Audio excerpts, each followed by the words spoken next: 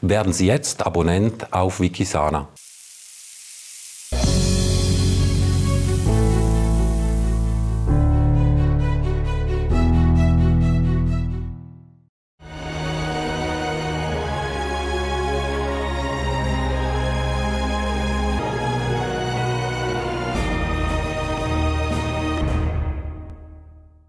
Liebe Zuschauer, seien Sie herzlich willkommen auch zur heutigen Format Visite. Und lieben Dank für all Ihre Zuschriften auch in dieser Woche. Und ich habe mich heute mal entschieden für eine E-Mail, die mich von Cordula erreichte. Cordula, Sie schreiben mir, dass Sie seit 2022 an einer ALS erkrankt sind, die Amyotrophe Lateralsklerose. Ich habe Ihre Sendung im Schweizer Fernsehen gesehen und am Ende da sagen Sie, Sie könnten ein Feedback geben und so möchte ich Ihnen kurz meine Geschichte schildern. Gern würde ich und so weiter zur Behandlung kommen, aber Seit meiner Diagnose versuche ich zu ergründen, was die Ursache für diese seltsame Krankheit bei mir sein könnte. Und seit Ihrer Sendung bin ich klüger. Danke. Das war der Wunsch, dass man, egal wie es im Leben heißt, eine Erkrankung, dass man Dinge für sich auch erkennt, die mit dazu beigetragen haben, dass der Körper in diesen Verzweiflungsakt kommt, diese Krankheit zu entwickeln. Mit dem Darm habe ich schon 40 Jahre meine Probleme. Sie sagten, der Darm ist bei der ALS immer beteiligt. Aber die Ärzte konnten mir nicht sagen, ich habe Probleme, den Stuhlgang natürlich auch loswerden zu dürfen. Eine ALS heute ist ein multifaktorielles Geschehen. Und wir sind immer so genötigt zu sagen, da hängt ein Mantel, den ziehe ich mir an und dann ist gut. Da ist eine Krankheit, die braucht Therapie und dann ist gut. So geht es nicht. Krankheit ist ja ein großer Prozess. Das heißt, was ist in mir geschehen, dass mein Körper zu dieser Erkrankung tendierte. Und wir wissen heute einen Teil dessen, aber wir stehen auch erst, glaube ich, am Anfang, diese Krankheit zu verstehen. Sie schreiben weiter, tiefe Trauer begleitet mich, seitdem mein Mann vor 13 Jahren gestorben ist. Das heißt, ich kann eine Trauerphase durchleben und ich muss sie auch durchleben, weil ich nur in dieser Trauer auch den Schmerz bearbeiten kann. Aber wenn ich das 13 Jahre immer noch tue und lebe, dann kann ich in diesem Organismus nicht gesund bleiben dürfen. Ich werde Ihnen das her erklären. Enttäuschung ist mein Lebensbegleiter seit ich berufstätig bin. Das hängt auch damit zusammen, dass ich einen Männerberuf habe. Inzwischen ist die Welt eine andere geworden. Aber zum Anfang und immer noch für meine Generation gilt, was wir Frauen tun, ist einfach weniger wichtig. Und daher hat es den zehnten Teil an Wert. Ich war 26 Jahre Professorin für Malerei habe deutlich mehr Studierende unterrichtet als meine Kollegen und es sind einige sehr erfolgreiche dabei. Man hat mich in der Region, in der ich unterrichtet habe, kaum ausgestellt.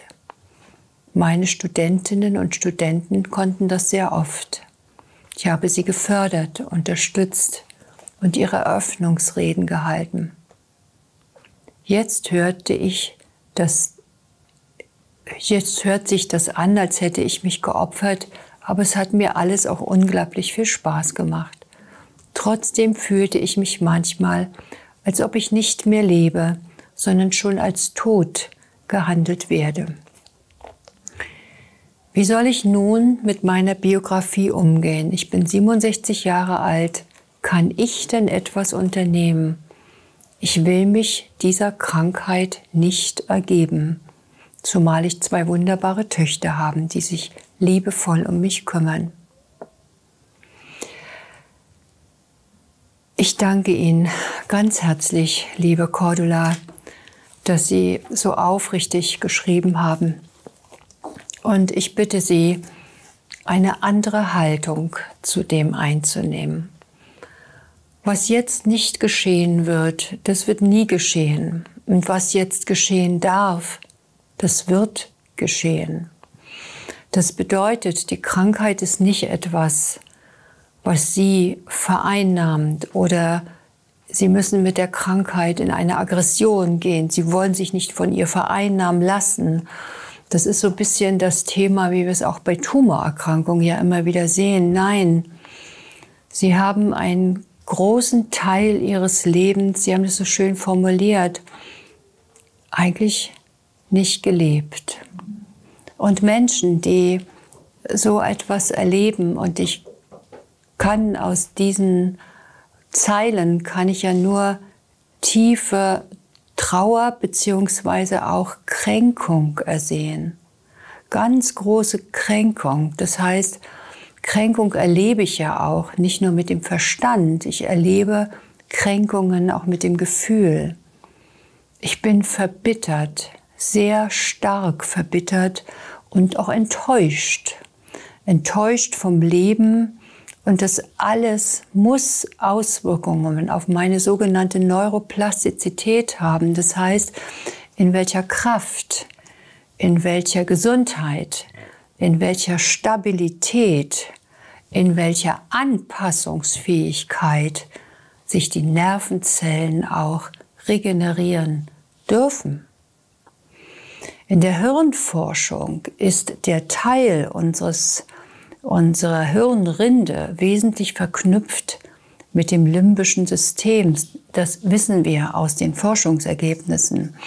Das heißt, ich kann ja vor Erschütterung oder vor Resignation auch langsam innerlich erstarren. Und ich weiß nicht, wie weit eine Gemeinsamkeit, die ich gelebt habe, immer wieder noch mich da getragen hat, immer wieder mich da noch begleitet hat, unterstützt hat, liebevoll immer wieder aufgerichtet hat. Denn ich glaube, diese Lehre, die dann entstanden ist vor 13 Jahren, hat sie wesentlich in eine noch größere Not auch gebracht. Das eine sind ja Kränkungen, das eine sind Verletzungen, Enttäuschungen, die andere Menschen mit einem tun. Das heißt, man ist letztendlich auch von diesen in einer gewissen Abhängigkeit.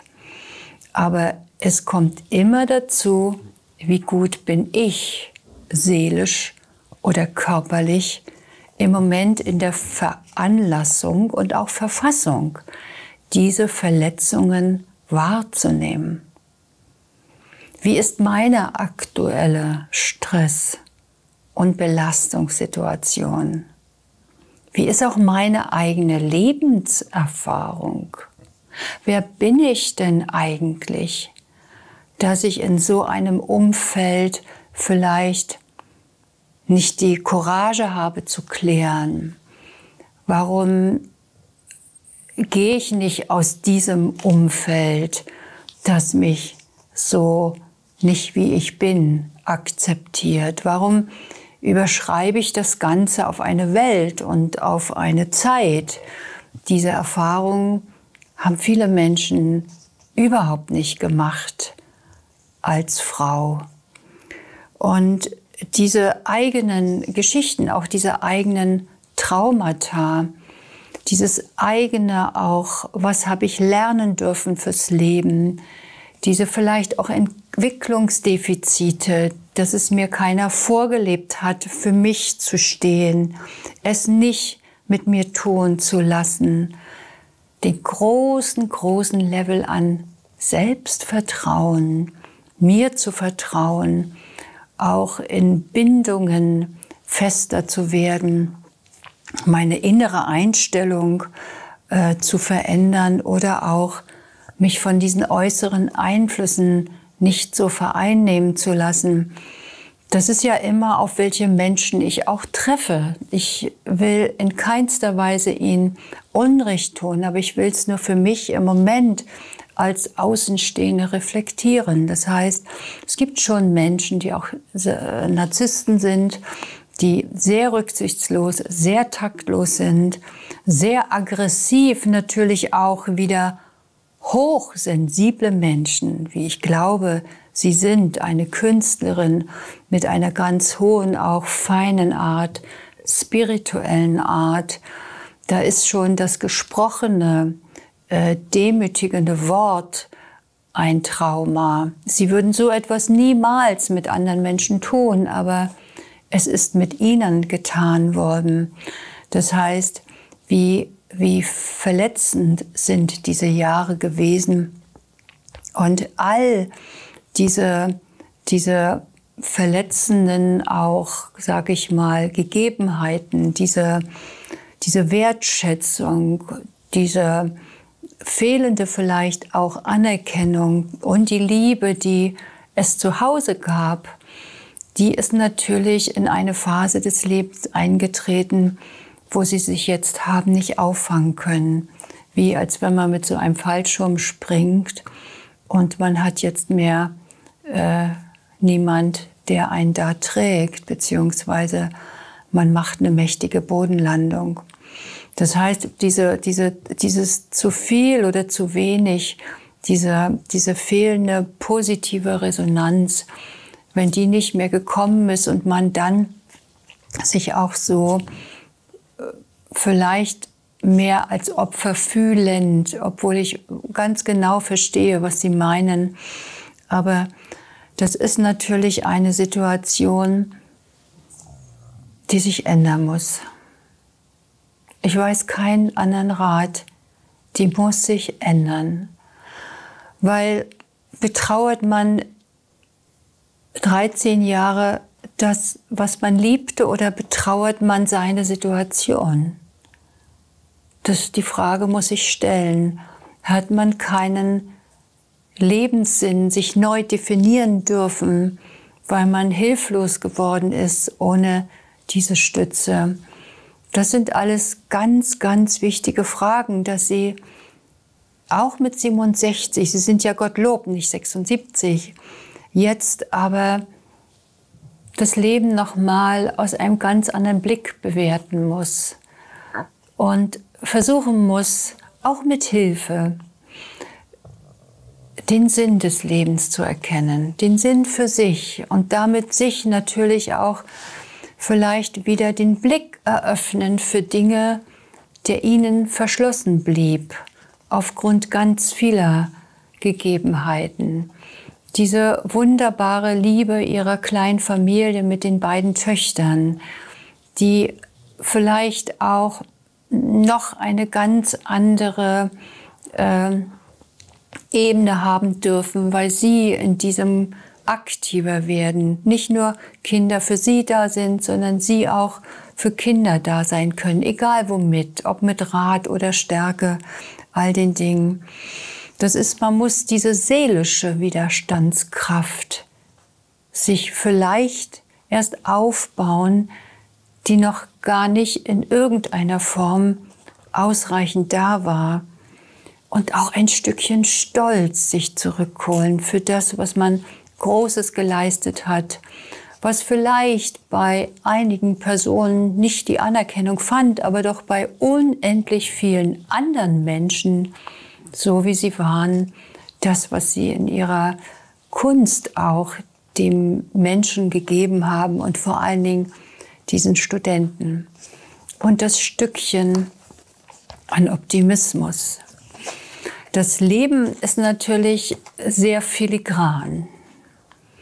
Und wir können das nicht einfach irgendwo die Therapie abholen und sagen, jetzt machen wir das und dann wird es gut die Selbststeuerung, die Selbstregulation, das ist Gottes Handwerk. Das ist, das ist etwas, was wir nur annähernd als Mediziner langsam begreifen, wie manchmal mit Respekt und Achtung wir dem Leben gegenübertreten müssen und leise wieder eine neue Programmierung in diesem Körper bekommen müssen. Und Sie stehen an einem Punkt Ihres Lebens, wo Sie vielleicht vieles immer wieder noch nach vorne gestritten haben und in Ihrer Welt geblieben sind.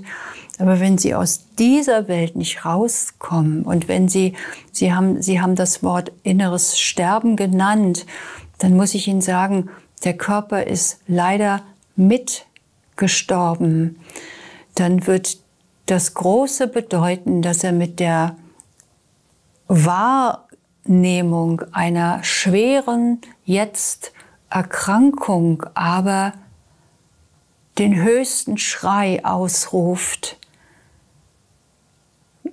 geachtet, geliebt und versorgt zu werden. Und der erste Punkt, der einem gelingen sollte, ist, dass man sich fürs Leben entscheidet.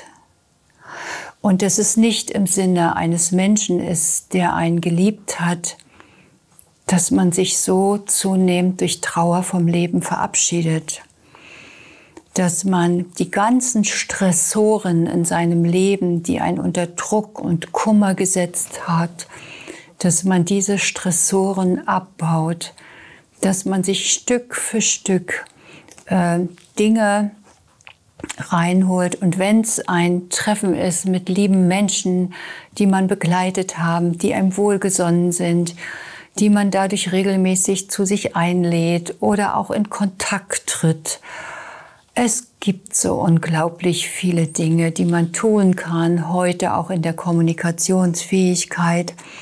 Aber die ganzen Nerven arbeiten mit den Hormondrüsen zusammen, die Hormondrüsen mit dem Immunsystem, das Immunsystem mit den Gehirnzentren.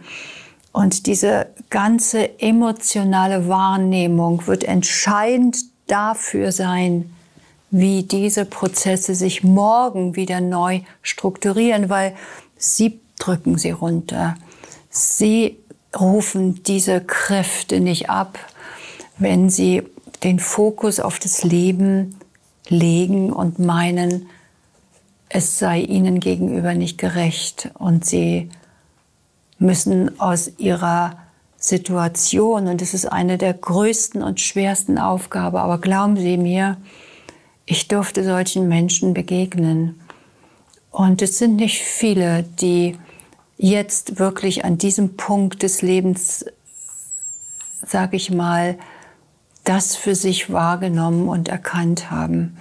Wir stehen jetzt mit 67 natürlich nicht in der Mitte des Lebens, aber es ist für einen Wechsel. Und ich sage immer, möge jeder Mensch die Kraft haben, wenigstens die Spur zu wechseln, kann eigentlich das Ganze für sie jetzt in eine ganz andere Wahrnehmung kommen. Ich sage das bewusst, weil manchmal ist es auch, ich konnte die Krankheit ja nicht heilen, aber es geht mir so gut. Es geht mir viel besser als vorher. Die Krankheit hat mir die Augen geöffnet, so darf ich nicht mit mir umgehen.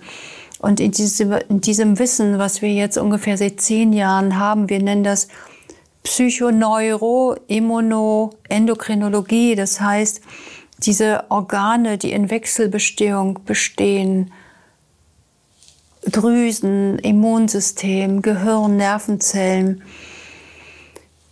diese Entwicklung derer miteinander realisiert tägliches Überleben.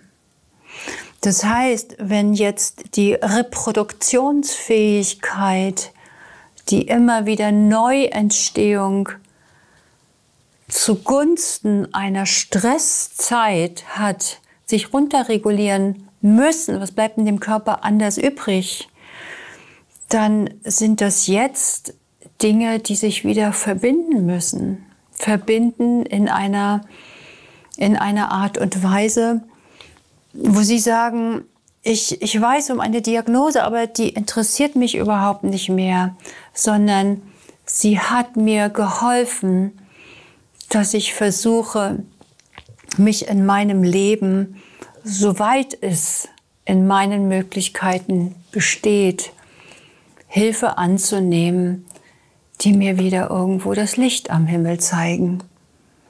Und diese, diese wir nennen das ja PNI, das heißt Psychoneuroimmunologie, stellt eigentlich ein System dieser drei Dinge wieder her.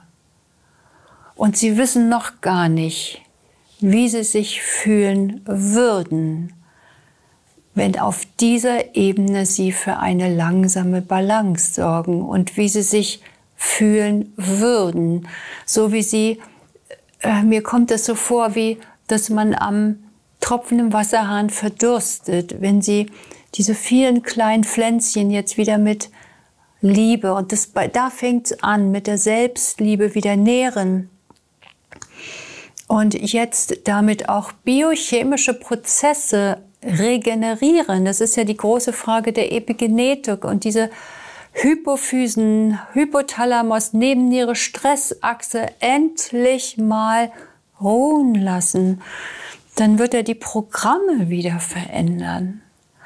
Und es ist eine große Erkrankung und ich stehe ihr mit einem unglaublichen Respekt gegenüber. Und wir wissen heute überhaupt nicht bis ins Letzte, was alles zusammenkommen muss. Aber eins wissen wir,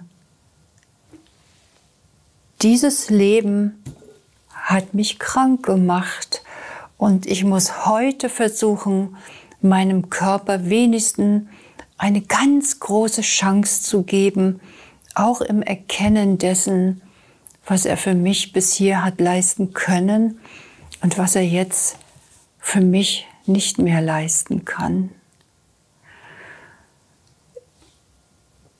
Sie sagen, Sie haben einiges verstanden und auch durch die, durch die, durch die Sendung über ALS. Ich habe mich hier auf einen wesentlichen Aspekt äh, konzentriert, weil ich weiß oder weil wir wissen, dass über allem, was in unserem Körper besteht, einer darüber steht. Und das ist der Geist. Und das ist das, wer wir sind und was uns ausmacht. Und der, wie ich denke und fühle, reguliert meinen Organismus. Und es wird Zeit, dass da eine ganz andere Botschaft ankommt.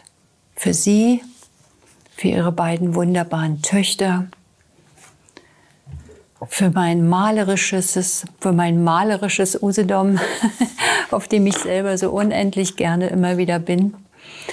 Und ja, für das, was uns in der Demut und Ehrfurcht, was Leben bedeutet, eigentlich nur hüpfen Sie von Tag zu Tag und finden Sie, haben Sie Augen in der Zukunft, die alles golden werden lassen. Und versuchen Sie mal, das hinter sich zu lassen, weil das darf in diesem neuen Leben, darf es keinen Platz haben, zumindest nicht mit Reue, Wehmut, Kränkung und Schmerz, sondern ich bin da und ich will leben und ich will bei euch sein. Und das zeige ich euch jetzt, weil ich es aus tiefstem Herzen möchte. Und das ist der kleine Schlüssel, den Sie in der Hand halten und geben Sie nur ihn in das richtige Schloss. Alles Gute wünsche ich Ihnen und ganz, ganz viel Gutes und ich freue mich auf die nächste Welt.